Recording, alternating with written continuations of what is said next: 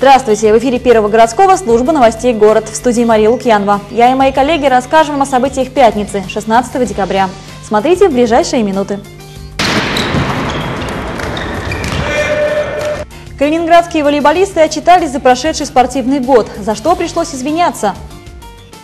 Как украсить э, дом к Новому году? Представляют себе, наверное, практически все. Э, Поставить елку, развесить игрушки, мишуру, зажечь гирлянду.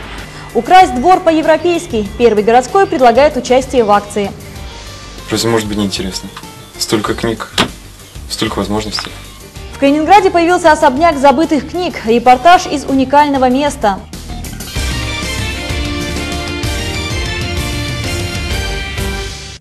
Аномально теплая погода в европейской России продержится до среды, а на берегах Балтики и того дольше. В эти выходные калининградцев ожидают осадки в виде снега и дождя. А до настоящей зимы еще далеко. Небольшое похолодание на территории России ожидается только к среде. До этого будет ветреная и облачная погода с осадками в виде дождя и снега. Предстоящие субботу и воскресенье они будут и в Калининграде. Ночью возможны заморозки, но днем воздух прогреется до плюсовых температур. Такая погода связана с циклоном, который выходит с Западной Европы на Балтику. И его влияние еще ожидается и 19 декабря ночью. Для Прибалтики зима может наступить и в начале января, и в конце декабря, поэтому здесь погода у нас э, определяется как влиянием циклонов запада, тогда зимний период задерживается. Так можем мы оказаться и под влиянием отрога сибирского антициклона. Тогда зима наступает раньше. Каких сюрпризов нам ждать новогоднюю ночь, пока неизвестно. Да и с калининградской погодой предсказать их невозможно. Но на ближайшую неделю зима отменяется, если верить прогнозам синоптиков. Калининградцы ходят на волейбол как в театр. Об этом рассказал тренер калининградской команды «Динамо Янтарь» на встрече с фанатами. Он извинился за последние две игры и сказал, что на результаты влияет даже площадь. Каким образом, узнаете из следующего сюжета. У нас есть такая каста людей, которые ходят на волейбол как в театр. Здесь собрались не поклонники театра. Эти болельщики ходят даже на тренировки своей команды, а их неудачи принимают как личное поражение. Кроме болезней. То есть где-то мы видим, что ребятам физически сил не хватает элементарно. Где-то психологически неуверенность. У вас есть объяснение этому вопросу? В восьмом туре чемпионата России «Динамо Янтарь» проиграла оба матча. Аутсайдеры турнира Новокубышевской Нове. С девятого места в турнирной таблице наша команда переместилась на последнее. Хочу извиниться за последние две игры и сказать, что команда реально вся переболела. Пол команды принимали антибиотики, половина там, три человека основного состава не на предыдущий тур. Плюс три недели был перерыв между Красноярском и тем. Мы в это время должны были там играть спарринг партнеры, спарринг игры. Мы там где-то по финансовым возможно, где-то из-за того, что у нас начинали все болеть, мы эту игровую практику потеряли. Задача минимум – остаться в высшей лиге А. О покорении других вершин главный тренер пока не помышляет. Правительство области выделило некоторую сумму. Она помогла только остаться в игре. Мостик, не мостик, просто вопрос, как бы нам постоянно говорят, что переговоры со спонсорами ведутся, мы по-прежнему надеемся и все прочее, но на какой стадии сейчас переговоры?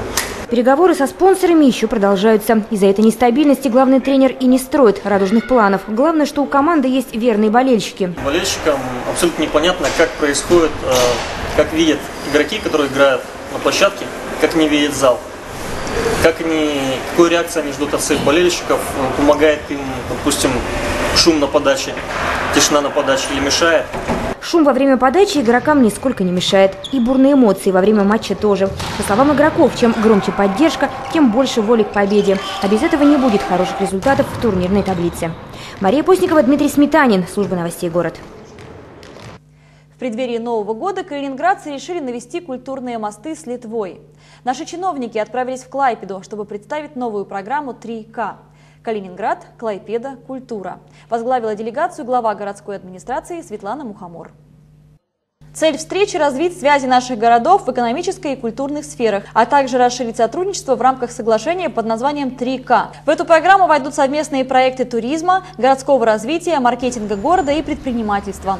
Особое место займет сотрудничество литовских и российских малых и средних предприятий. В рамках 3К уже были осуществлены поездки в Клайпеду, труппы другого театра и симфонического оркестра. В ближайших планах совместная выставка юных литовских художников, а также обмен калининградскими и клайпедскими творческими коллективами.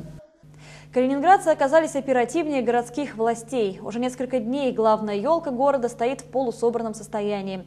А вот дома и магазины уже давно засверкали яркими огоньками. На Первом городском стартует новая акция «Украсть свой двор по-европейски». Подробности у Дениса Саландина. Новый год – это единственный праздник, который отмечают все без исключения. Поиск подарков, детские письма Деду Морозу, споры о том, какую елку ставить – искусственную или натуральную, и украшение своего дома – это то, что объединяет всех людей. Калининградцы с географической точки зрения самые европезированные из всех россиян. И традицию украшать свой дом в новогодние праздники родители воспитывают с детства. Александр вместе с женой 6 лет прожили в Германии. Вернулись, купили дом и теперь каждый год их окна, балкон и сад переливаются разноцветными огнями. За новогодними гирляндами специально ездили в Берлин. В отличие, я не сказал бы от большинства людей, но от многих людей, мы по строительным магазинам ходим, где всевозможные поделочки, гирлянды, строительные материалы и все остальное. У меня жена очень любит поделки всякие. Ну, а я специалист по гирляндам. Самодельные игрушки и украшения – изюминка их сада. В ход идет все. Если пофантазировать, то из вполне обычных горшков и фольги можно придумать массу интересного. Но больше всего мне нравится то, что соседи начинают потихонечку-потихонечку как бы перенимать вот эти все положительные качества, порядочек начинает наводить. Каждый год мы украшаем свой дом, двор и офис различными новогодними символами. А теперь, украсив свое жилище, вы можете выиграть приз. Первый городской телеканал и европейский оператор связи Теле2 дарят всем жителям Калининграда такую возможность.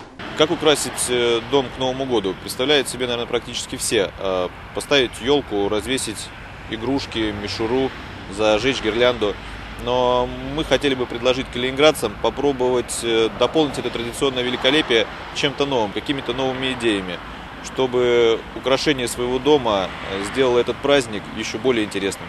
Не стоит ждать новогоднего настроения. Настала пора его создавать самим. Украсть свое окно, балкон, двор, фасад или витрину магазина. Сфотографируйте свое творение и отправьте его вместе с заявкой к нам на почту канал 1 собака mail.ru или звоните по телефону 91 94 04 до 30 декабря и расскажите всему городу о своем новогоднем дворе. Заявки принимаются по следующим номинациям. Лучшее украшение дома, лучшее украшение двора, лучшее украшение фасада, витрины магазина или офиса. Итоги акции будут подведены 10 января в эфире службы новостей «Город». Победитель получит большой приз от Первого городского канала. А европейский оператор мобильной связи «Теле2» разыграет между участниками свой специальный приз. В акции может принять участие каждый. Украсим город вместе. О том, что цветы, которые продают в Калининграде, опасны для здоровья, о шокирующих итогах прошедшей переписи и о том, когда откроются елочные базары в нашей сегодняшней рубрике «Короткой строкой». Цветы опасны для здоровья калининградцев. Специалисты Россельхознадзора нашли в хризантемах западный цветочный трипс. Этот вредитель признан самым опасным для овощных и цветочных растений. Хризантемы для продажи в Калининград привезли из Голландии. Сейчас все 625 цветков проходят процедуру обеззараживания. Страну переписали. В пятницу были опубликованы окончательные итоги переписи населения. Людей в стране стало меньше. За 9 лет Россия потеряла почти 2,5 миллиона человек. Вымерли 8,5 тысяч деревень. Еще 19 тысяч существует лишь на бумаге. А вот жить россияне стали дольше. 9 лет назад средний возраст граждан составлял 37 лет. Сейчас на 2 года дольше. Вместе с тем россияне стали реже вступать в брак. Супружеских пар стало меньше на 1 миллион. Напомню, перепись проходила в октябре 2010 года. Из бюджета на нее ушло 17 15 миллиардов рублей. К зиме не готовы. О том, что снегоуборочная техника в Калининградской области изношена на 80%, заявил Юрий Казаков. Глава региональной госавтоинспекции также отметил, что песко-соляная смесь для посыпки дорог хранится неправильно под открытым небом, а не под навесами. После дождей она может прийти в негодность и нужно будет закупать новую. Очередную проверку Юрий Казаков назначил на следующую неделю. Новому году по Калининграду разложат полицейских. Искусственные дорожные неровности установят около детских садов. Всего до 25 декабря специалисты должны завершить монтаж 10 лежачих полицейских. Всего в 2011 году на установку средств принудительного снижения скорости ушло 2,5 миллиона рублей. Елки в городе. На площади около Дома Советов организует традиционный елочный базар с 19 декабря. Он будет работать каждый день. Адреса других мест продажи елок и время их работы можно узнать на сайте Первого городского канала. Отметим, что приобрести на таких ярмарках бенгальские огни, хлопушки и петарды не удастся. По закону их уличная продажа запрещена. Курс валют на 17-18 декабря. Доллар США 31 рубль 77 копеек, евро 41 рубль 39 копеек, литовский лит 11 рублей 98 копеек, польский злоты 9 рублей 14 копеек. Смотрите во второй части нашего выпуска. Разве может быть неинтересно? Столько книг, столько возможностей. В Калининграде появился особняк забытых книг, репортаж из уникального места. Чем заняться в выходные? Обзор событий предстоящих субботы и воскресенья. Джинсы будут 100% клёши, скорее всего. Калининградцы размышляют о моде будущего. 62 года назад Кристиан Диор открыл первый модный дом в Париже. Эти и другие новости после короткой рекламы.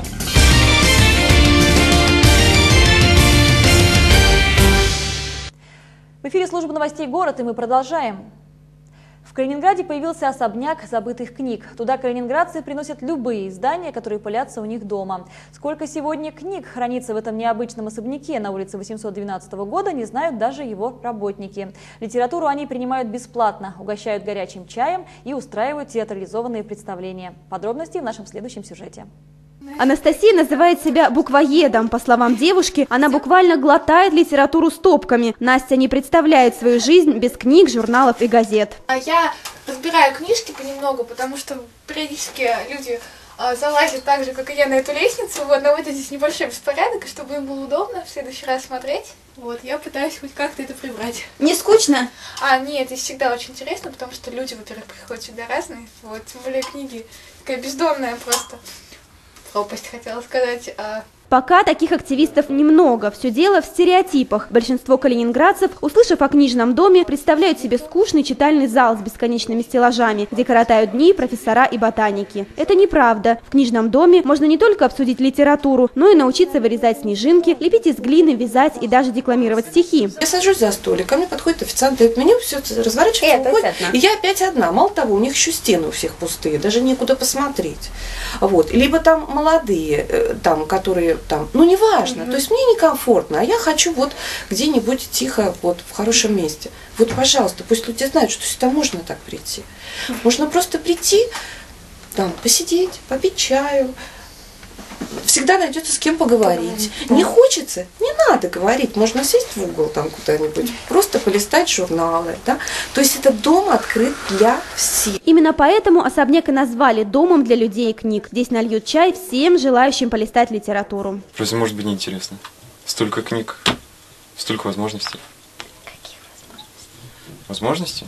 Да. Ну, лично для меня, для обучения здесь. У меня есть математический раздел, где нашел довольно интересные книги, которых у нас в университете нет.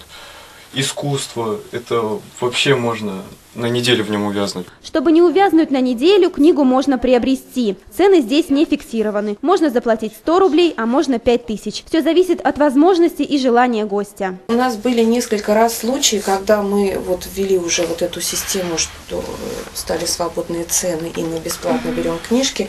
Мне по телефону несколько раз так отвечали и, и в лицо мне так говорили, ага, значит, я вам подарю, а вы тут вроде как будете наживаться. Это уже.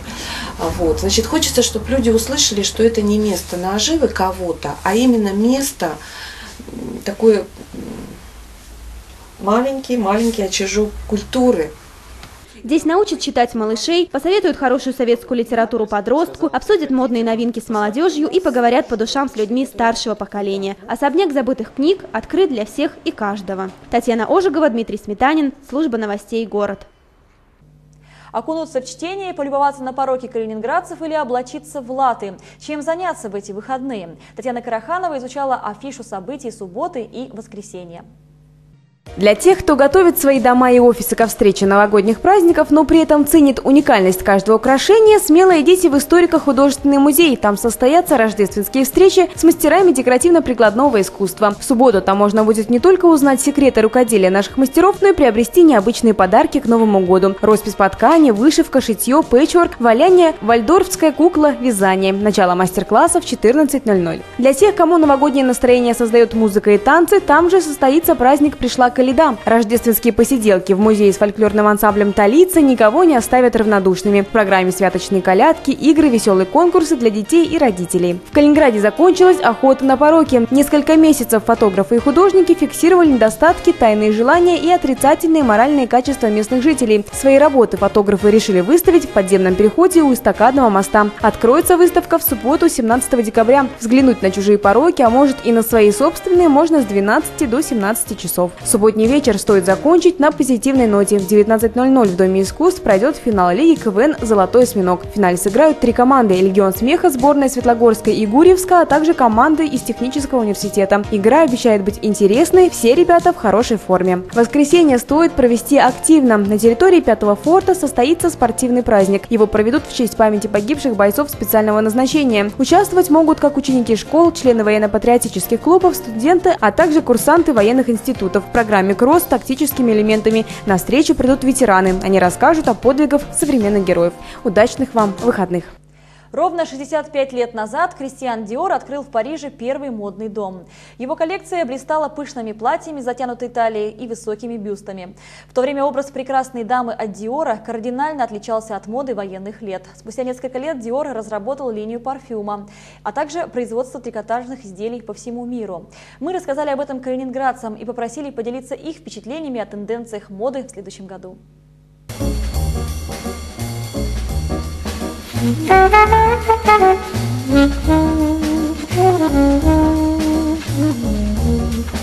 Придет старая мода, как всегда. Будем одеваться, как и раньше. Сейчас же одеваемся, как 20-30 лет назад одевались, так будет через 20 лет. Больше компьютерного что-то, да. мне кажется. Да. Стало бы более инновационно, технологично. Уже в одежде что-то тоже технологии стали вводить. Мне бы хотелось платье с цветочками. Та мода, которая сейчас мне очень нравится легкие свободные джинсы, можно на работу одеваться, как тебе удобно. Все-таки классика всегда будет в моде. Для женщин, мне кажется, черное платье Куку Шанель это будет бесспорный вариант на все праздники и на работу, если чуть-чуть переукрасить чем-нибудь.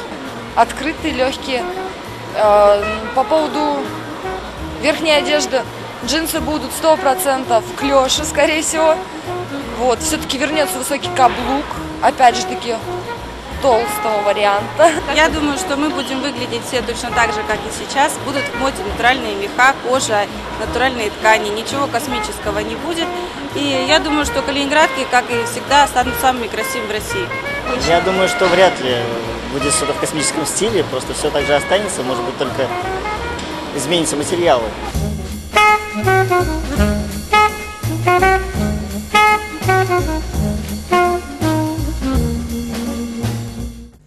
этом все. Если вам есть что рассказать городу, звоните к нам в студию по телефону 91 94 04.